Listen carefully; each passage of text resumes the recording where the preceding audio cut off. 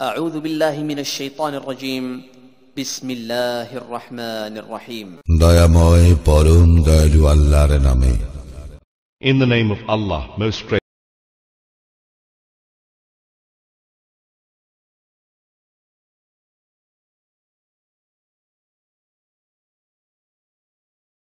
কিতাবীদের মধ্যে যাহারা কুফরি করিয়াছিল তাহারা এবং মুশিকরা আপন মতে অবিচলিত ছিল যে পর্যন্ত না তাহাদের নিকট সুস্পষ্ট প্রমাণ আসিল Those who reject truth among the people of the book and among the polytheists were not going to depart from their ways until there should come to them clear evidence.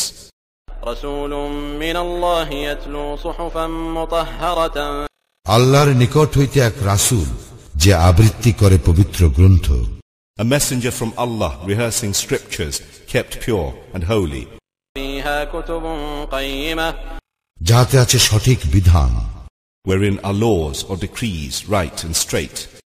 وما تفرق الذين أوتوا الكتاب إلا من بعد ما جاءتهم البينة যাহাদেরকে কিতাব দেওয়া হইয়াছিল তাহারা তো বিভক্ত হইল তাহাদের নিকট সুস্পষ্ট প্রমাণ আসার পর Nor did the people of the book made schisms until after there came to them clear evidence.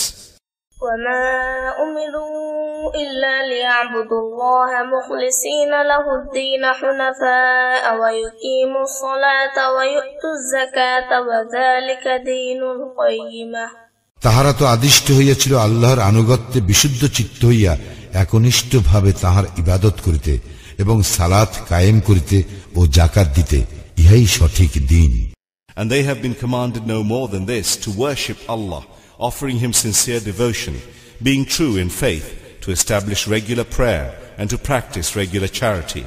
And that is the religion.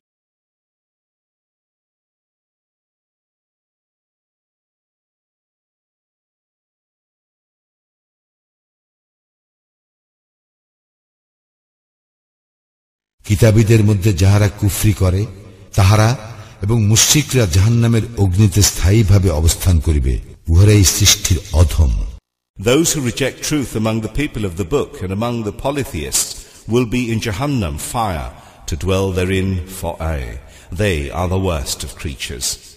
إن الذين آمنوا وعملوا الصالحات أولئك هم خير البرية যাহারা ইমান আনে ও সৎকর্ম করে তাহারাই সৃষ্টির শ্রেষ্ঠ Those who have faith and do righteous deeds, they are the best of creatures.